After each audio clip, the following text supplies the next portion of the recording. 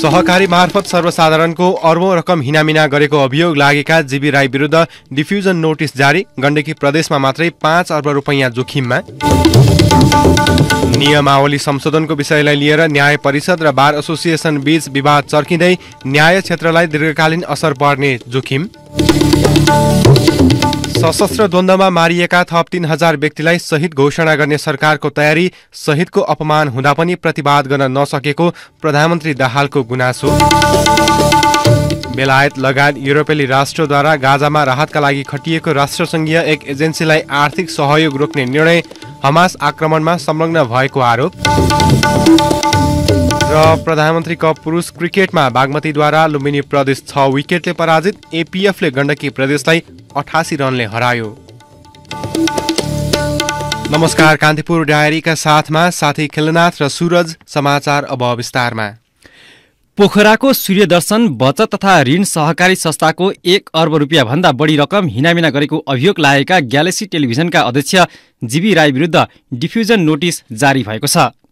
इन्टरपोलले राई विरुद्ध diffusion notice जारी गरेपछि राई इन्टरपोलमा आबद्ध राष्ट्रका प्रहरीहरूको फरार सूचीमा समेटिएका छन्।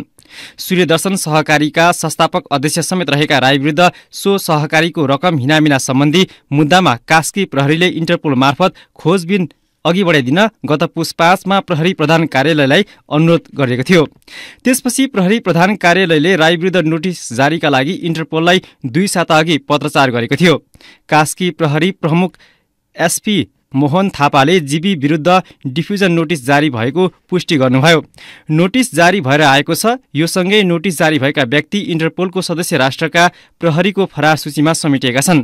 राईसहित सूर्यदर्शनका पूर्व अध्यक्ष द्वय भूपेन्द्र राई र हालका अध्यक्ष थान बहादुर बुढा मगर विरुद्ध नोटिस जारी गर्न अनुरोध गरेकोमा उनीहरूको हकमा निर्णय भइ नसकेको एक प्रहरी अधिकृतले जानकारी दिए। जीबी राई विरुद्ध नोटिस जारी भइसकेको छ अन्य दुईजना विरुद्ध पनि छिट्टै निर्णय होला। राईसहित उन्नाइसजना विरुद्ध सहकारीको एक अर्बभन्दा बढी रकम हिनामिना गरेको अभियोगमा कास्की जिल्ला अदालतमा मुद्दा विचार दिन्छ।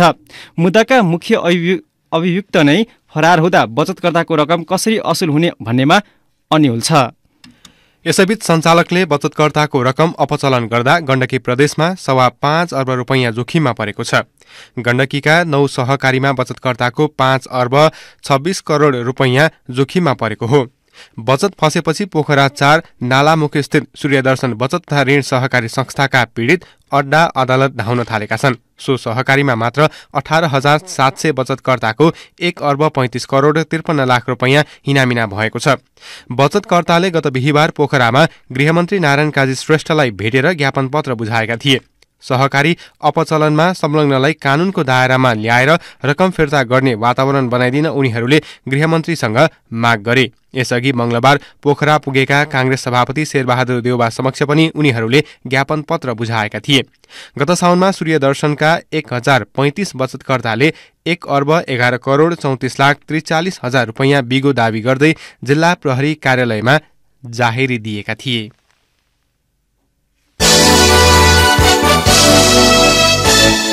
प्रधानमन्त्री एवं माओवादी केन्द्रका अध्यक्ष पुष्पकमल दाहालले शस्त्र द्वन्द्वका क्रममा मारिएका थप तीन हजार व्यक्तिलाई शहीद घोषणा गर्ने तयारी भएको बताउनु भएको छ। काठमाडौँमा हिजो आयोजित एक कार्यक्रममा बोल्दै प्रधानमन्त्री दाहालले शस्त्र द्वन्द्वका शहीदलाई राज्यको तर्फबाट सम्मान बढाउनु पर्ने समेत बताउनुभयो। उहाँले भन्नुभयो हाम्रा राष्ट्रिय शहीदलाई अपमान हामी सहन सक्दैनौँ भनेर प्रतिवाद गर्यो भने त उनीहरू त त्यो बोल्न सक्ने ठाउँ छैन नि। भने यो कुरा पनि समीक्षा होस्। शहीद प्रतिष्ठान नेपालले अब यी राष्ट्रिय शहीदहरू जो भर्खरै अस्ति क्याबिनेटबाट मैले तिन हजार थप शहीदहरूलाई राष्ट्रिय शहीद ती जनयुद्धकै शहीद हुन् सबै छुटेका। गरेको छ भने यसलाई सम्मान गर्नलाई हामीले देशभरि कार्यक्रम बनाउन केले रोक्छ? प्रधानमन्त्री दाहालले पछिल्लो समयमा सशस्त्र द्वन्द र यसका शहीदलाई अपमान गर्ने क्रम बढेको भन्दै असन्तुष्टि जनाउनुभयो। शहीदहरूको अपमान हुँदा समेत पार्टीका नेता र कार्यकर्ताले प्रतिवाद गर्न नसकेको उहाँको भनाइ थियो। तपाईँहरूले कतिको महसुस गर्नुभएको छ? अस्ति भर्खरै र लगातार सत्र हजार भन्ने भाषा बनाउन खोजी सत्र हजार र ती सत्र हजार माओवादीले मारेका यति झुट यति बेइमानीपूर्ण यति षड्यन्त्रकारी आपराधिक प्रचार खुलेआम तपाईँ हाम्रो अगाडि गरे हुन्छ तर तपाईँ हामी प्रतिवाद गर्ने आँट गर्दैनौँ क्या। कति लाजो मर्दो भयो हाम्रो स्थिति। सत्र हजार प्लस दुई भनेर एउटा मान्छे ब्यानर बोकेर उभिया हुन्छ तर तपाईँ हामीलाई त्यहाँ प्रतिवाद गर्ने जाँगर पनि छैन। न लेख्ने न बोल्ने। हिजो भयो हामी त्यो सहन सक्थ्यौँ त।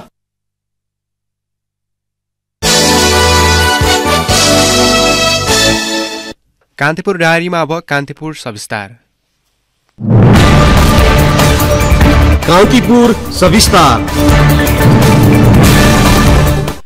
न्याय परिषद नियमावली संशोधनलाई लिएर न्याय परिषद र कानून व्यवसायको छाता संगठन नेपाल बार एसोसिएसन बीच विवाद चुलिएको छ।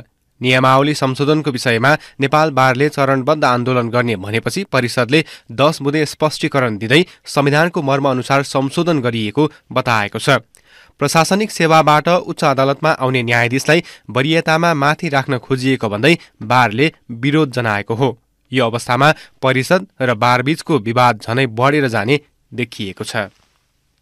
न्याय परिषद नियमावली संशोधनको विषयलाई लिएर विवाद उठेपछि परिषदले दस बुधे स्पष्टोक्ति दिएसँगै नेपाल बार झन रुष्ट बनेको छ। न्याय परिषदले न्याय प्रशासनमा दक्ष कर्मचारी टिकाइ राख्न नियमावली संशोधन गर्नु परेको स्पष्टीकरण दिएपछि बार रुष्ट बनेको हो। संशोधनको विषयमा कानूनी प्रश्न उठाएर सर्वोच्च अदालतमा दायर गरेको रिटमा समेत कानून प्रतिकूल भन्न नमिल्ने अवस्था भन्दै रिट खारेज गरिदिएको अवस्थामा आग्रहपूर्ण धारणा राख्नु संविधान विपरीत भएको परिषदको धारणाका कारण बारको असन्तुष्टि बढेको छ। परिषदले नियमावली संशोधन गर्दै मुख्य रजिस्ट्रार रजिस्ट्रार र कर्मचारी तहबाट न्यायाधीश भएका व्यक्तिहरूको वरियता माथिल्लो क्रममा आउने गरी नियमावली संशोधन गरेको थियो। सोही विषयलाई लिएर न्याय परिषद सदस्यको भूमिकामाथि प्रश्न उठाएको बारले चरणबद्ध विरोधका कार्यक्रम गर्ने तयारी गरेको छ। बारकी महासचिव अन्जिता खनाल भन्छन् विशिष्टता भन्ने यो लागु हुँदैन किनभने एउटा क्षेत्रमा बसेर उहाँले एउटा पाइसक्नु भएको छ। उमेरको हद सकिसकेको छ त्यस्ता व्यक्तिलाई फेरि न्यायालयमा नियुक्ति गर्दा अरू सबभन्दा पृथक तरिकाले बढुवा जस्तो गरेर लैजानु भनेको त कति लाजमर्दो हो नि। फेरि बढुवाको हिसाबमा लैजाने गरेर गरेको छ। त्यस कारणले गर्दा त्यो त यति गैर कानुनी छ यति असंवैधानिक त्यसले गर्दा हामी अब कार्य आन्दोलनमा जान्छौँ। नियमावली संशोधन पक्षगामी विभेदपूर्ण पूर्वाग्रही र स्वेच्छाचारी एवं गैर संवैधानिक तथा गैर न्यायिक भएकाले सर्वोच्च अदालतबाट प्रतिपादित सिद्धान्त विपरीत भएको भन्दै बारले खारेज गर्न माग गरेको छ। त्यसो त परिषदको यो संशोधनले न्याय सम्पादनमा गम्भीर असर पुग्ने तर्क कानून व्यवसायीको छ। पहिला प्रवेश गरेका न्यायाधीश भन्दा पछि गएका मुख्य रजिस्ट्रारलाई वरियता क्रममा अगाडि राख्नु संविधान र विधिको शासन विपरीत देखिएको भन्छन् कानून व्यवसायी लोकेन्द्र ओली। त्यो विधिको शासन र विधि विधि शास्त्र हो जुन संविधान हो जुन कानुन हो त्यो बमोजिम नबनेको हुनाले त्यो तत्काल खारेज गर्नुपर्छ। यसलाई चाहिँ संशोधन गरेर फेरि पुरानै अवस्थामा पहिला गएको मान्छे वरियताको रूपमा पहिला नै हुने। र पछाडि गएको मान्छे पछाडि नै हुने प्रकृतिको चाहिँ हुनुपर्छ। यो प्रकृतिले यसलाई संशोधन नगरिएर यसलाई चाहिँ यसरी चाहिँ लागू गरियो भने यसले चाहिँ न्यायाधीशहरूमा न्याय सम्पादन गर्ने जुन शैली छ उनीहरूको स्वविवेक उनीहरूको मस्तिष्कमा चाहिँ गम्भीर असर परेर चाहिँ देखिन्छ। परिषदले भने दस बुधे आफ्नो स्पष्टीकरण पछि पनि नेपाल बारले जनाएको विरोध प्रति कुनै पनि प्रतिक्रिया दिएको छैन। यसबारेमा बुझ्न खोज्दा परिषद पदाधिकारीले सो स्पष्टीकरण नै आधिकारिक भएकाले कुनै टिप्पणी नगर्ने प्रतिक्रिया दिए। हुन त पूर्व प्रधान न्यायाधीश गोपाल पराजुलीका समयदेखि नै नियमावली बनाउने र बिगार्ने कार्य हुँदै आएको केही कानून व्यवसायको तर्क छ। विगतमा गरिएका ठिक थिए कि थिएनन् भनेर निर्क्योल गर्दै सपार्ने नाममा बिगार्ने कार्य गर्न नहुने उनीहरूको भनाइ छ। बारले पनि आन्दोलन भन्दा पनि संवाद तथा परिषदले पनि सुधारिँदै अगाडि बढ्नुको विकल्प नभएको वरिष्ठ अधिवक्ता श्रीहरि अरियालको भनाइ छ। गोपाल पराजुलीको टाइमबाट सुरु भएको नियमलाई यथावादी चलाउने गर्ने कामहरू नि। गोपाल न्यायाधीशबाट सुरु भयो। झन्झट झमेला गर्ने विषय विषय होइन यो अब जे जस्तो छ दुइटैले चाहिँ के छ भनेदेखि अब कम्प्रोमाइज गरेर आइन्दा यसैबाट काम गर्नु हुँदैन भन्ने चाहिँ त्यो बनाएर काम गर्यो भने कुरा मिल्छ कि गत असोज एक गते न्याय परिषदले नियमावली संशोधन गरेपछि विवाद जन्मिएको थियो। बार एसोसिएसनको विमति बढ्दै जाँदा कानून व्यवसायीले सो विषयलाई लिएर चर्को प्रतिवाद गरेपछि परिषदले गत साता दस बुधे प्रष्टीकरण दिएको हो। पहिलाबाट कार्यरत न्यायाधीश भन्दा पछि आएका न्यायाधीश वरिष्ठ हुने प्रावधान ठिक नभएको तथा यस विरुद्ध बोल्नु संविधान विपरीत भन्ने परिषदको ठम्याई अभिव्यक्ति स्वतन्त्रताको हनन भएको उनीहरूले धारणा राखेका छन्। परिषद र नेपाल बारले समस्याको समाधान गर्न संवाद तथा वार्ता मार्फत विवाद अन्त्य गर्नुपर्ने बताउँछन् पूर्व न्यायाधीश बलराम केसी। भइरहेको न्यायाधीश सिनियर बनाउने काम गरियो। यसले चाहिँ स्वतन्त्र न्यायपालिका प्रत्यक्ष रूपले असर पर्छ। त्यो यसलाई यसलाई बोलेर हिँड्ने भने चाहिँ कन्टेन्टमा कारवाही हुन सक्छ भनेर त्यो धम्की दिने काम पनि भयो। त्यो पनि अदालतको अदालतको फैसला हामीले चाहिँ नि त्यसलाई हामीले मान्नुपर्छ तर त्यो हामी यसो मेरो सहमत छैन भन्न सक्छौँ। अनि त्यो पनि अलिकति विचार पुगेन त्यस्तो विकृति निकाल्नलाई। अहिले यो खुला समाजमा र अनि तपाईँको मान्छेले वाक तथा प्रकाशन स्वतन्त्र दिएको छ त्यो नियमले चाहिँ नि त्यो आफै बदर गरे भइहाल्छ त्यसलाई आफै त्यसलाई खारेज गरे भइहाल्छ दुवैले सबैले चाहिँ डायलग गर्नुपर्छ सर्वसाधारणसँग प्रधान न्यायाधीशसँग यस्तो नै हुँदैन। त्यसलाई फिर्ता लिनुपर्छ भनेर डायल गर्नु राम्रो हुन्छ डायलग गर्नु वार्ता गर्नु राम्रो हुन्छ आन्दोलन भन्दा। एकातिर बार परिषदमा रहेका आफ्ना प्रतिनिधिको भूमिकालाई लिएर असन्तुष्ट छ भने अर्कोतर्फ नियमावली संशोधनको विरोधमा आन्दोलनमा जाने मोडमा देखिन्छ। नियमावली संशोधनले निम्ताएको विवाद साम्य नभएमा बार र परिषद बीचको टक्राव बढाउने जोखिम बढेको छ। रेडियो कान्तिपुरका लागि तारा ढकाल। कान्तिपुर सविस्तार। कान्तिपुर डायरीमा अब ब्रेकको पालो। ब्रेकपछि कान्तिपुर डायरीमा अब बाँकी प्रसङ्ग राष्ट्रिय सभा सदस्यको बिहिबार सम्पन्न चुनावमा कोशी प्रदेशको परिणामलाई लिएर सत्ता गठबन्धनभित्रै संशय उत्पन्न भएको छ। कङ्ग्रेसभित्रको अन्तर्विरोधले कोशीमा बारम्बार धोका पाएको भन्दै माओवादीका केही नेताले सत्ता गठबन्धनमा नै पुनर्विचार गर्नुपर्ने सम्मको अभिव्यक्ति दिइरहेका छन्। गठबन्धनको मुख्य घटक कङ्ग्रेसका नेताहरूले भने कोशीलाई देखाएर माओवादीले सत्तामा थप बार्गेनिङ बढाउन खोजेको आशंका गरेका छन्। राष्ट्रिय सभाको उन्नाइस सिटका लागि भएको निर्वाचनमा सत्ता गठबन्धनले सातवटै प्रदेशमा साझा उम्मेद्वार अघि सारेको थियो। छवटा प्रदेशको नतिजा सत्ता गठबन्धनको पक्षमा आए पनि कोशीमा भने माओवादी उम्मेद्वार पराजित भएपछि गठबन्धनभित्र चिसो पसेको हो। कोशीबाट कङ्ग्रेस नेता कृष्ण प्रसाद सिटौलाले चुनाव जित्दा माओवादी नेत्री चम्पादेवी कार्की एमालेकी उम्मेद्वार रुक्मणी कोरेलासँग पराजित हुनुभएको थियो। यस्तो परिणाम आउनुमा माओवादी नेताहरू कङ्ग्रेसभित्रको अन्तर्कलह मुख्य कारण रहेको ठान्छन्। कङ्ग्रेस नेता शेखर कोइरेला भने यसलाई अस्वीकार गर्नुहुन्छ। माओवादीलाई कङ्ग्रेसबाट नभएर अन्यन्त्रबाटै धोकाधडी भएको हुन सक्ने उहाँको बुझाइ छ। कोशीमा माओवादीले कङ्ग्रेसबाट बारम्बार धोका खाएको भन्दै माओवादीका उपमहासचिव वर्षमान पुनले कङ्ग्रेससँगको गठबन्धनमै पुनर्विचार गर्नुपर्ने अभिव्यक्ति दिनुभएको छ। गृह जिल्ला रोल्पामा पार्टीबाट निर्वाचित जनप्रतिनिधिसँगको प्रशिक्षणमा पुनले हरेक पटकका निर्वाचनमा माओवादीले इमानदारिताका साथ मत दिने तर कङ्ग्रेसबाट धोका खाने क्रम दोहोरिँदै आएको बताउनु भएको छ।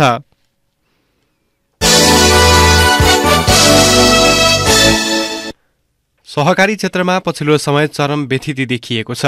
सर्वसाधारणको बचत हिनामिना गरेर सञ्चालकहरू भाग्ने सहकारीको अवधारणा विपरीतको लगानी लगायत कारणले सहकारी क्षेत्रमा विकृति निम्तिएको सरकारवालाले बताएका छन्। सरकारले तीन खम्बे अर्थनीतिमा समावेश गरेको सहकारी क्षेत्रको व्यथितिले समग्र वित्तीय क्षेत्रलाई नै असर गरेको छ। नियमनकारी निकायको फितलो अनुगमनका कारण थप समस्या सृजना भएको हो। एक सामग्री। मुलुकभरका पाँच सय भन्दा बढी सहकारीले बचतकर्ताको रकम हिनामिना गरेको सहकारी विभागको तथ्याङ्क छ।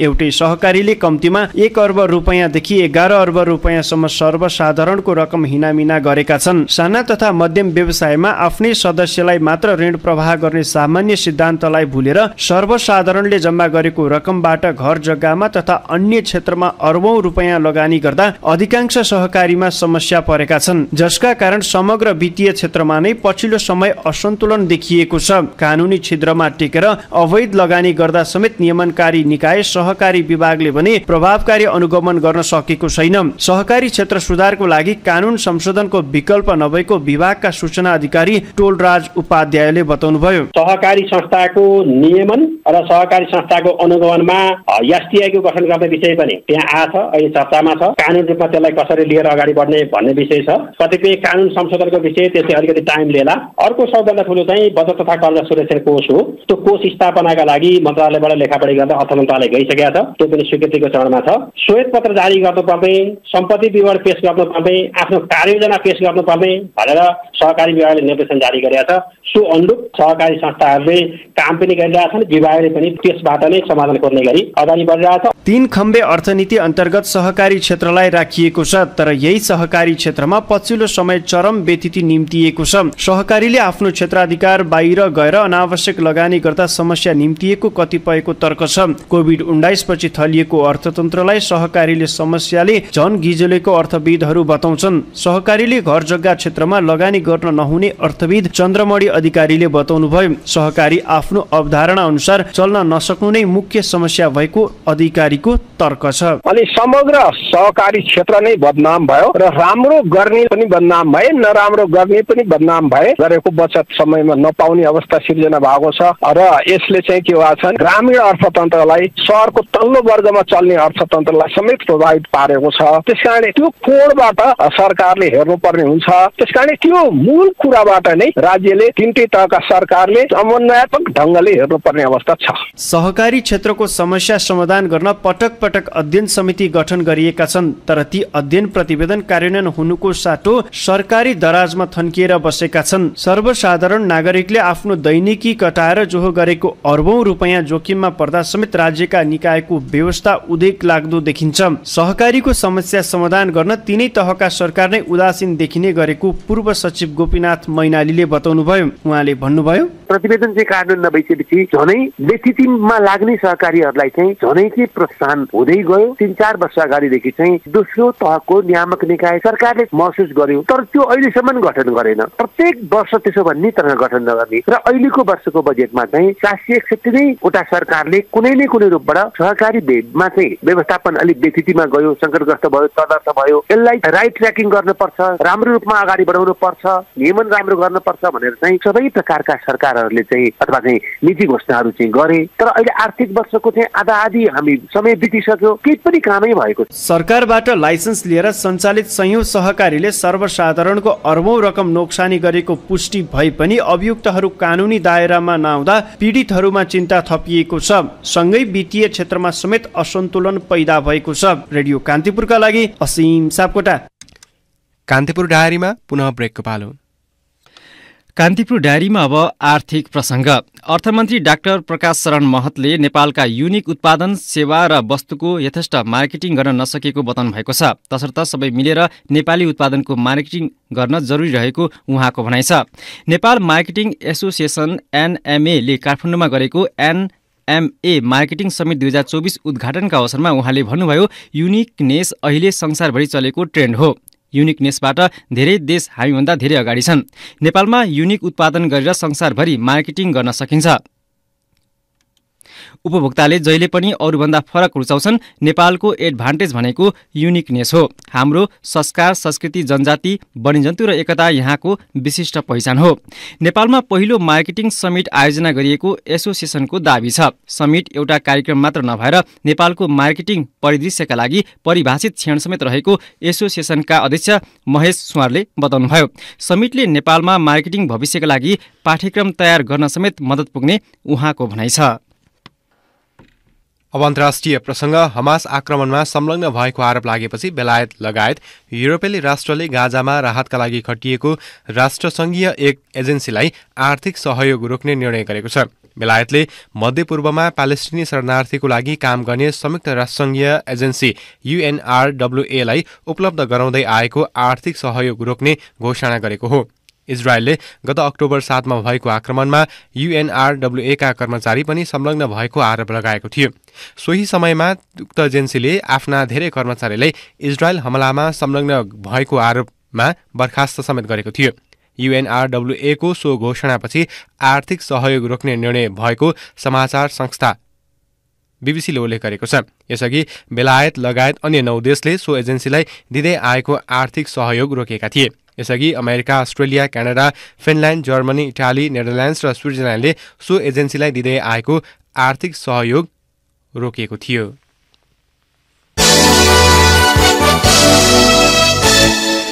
अब खेल प्रसङ्ग प्रधानमन्त्री कप पुरुष क्रिकेटमा लिग चरणको आफ्नो अन्तिम खेलमा बागमती प्रदेशले लुम्बिनी प्रदेशलाई छ विकेटले पराजित गरेको छ। बागमती नौ खेलमध्ये छमा जित हा जितसहित बाह्र अङ्कसहित दोस्रो स्थानमा पुगेको छ। लिग चरणको शीर्ष दुईमा रहने टोलीले उपाधिका लागि खेल्ने भए पनि बागमतीको आगामी यात्रा तय हुन अन्य खेल अन्य खेलहरूले अन्य खेलहरूको नतिजा कुर्नुपर्नेछ। यसैबीच मूलपानी क्रिकेट मैदानमा हिजो विभागीय टोली एपिएफ क्लबले गण्डकी प्रदेशलाई अठासी रनले पराजित गरेको छ। एपिएफले दिएको दुई सय आठ रनको लक्ष्य पछ्याउने क्रममा गण्डकी चौतिस ओभर पाँच बलमा एक सय उन्नाइस रनमा अल आउट भयो। जितसँगै एपिएफ आठ अङ्कसहित तालिकाको छैटौँ स्थानमा यथावत छ। गण्डकी आठौँ स्थानमा छ।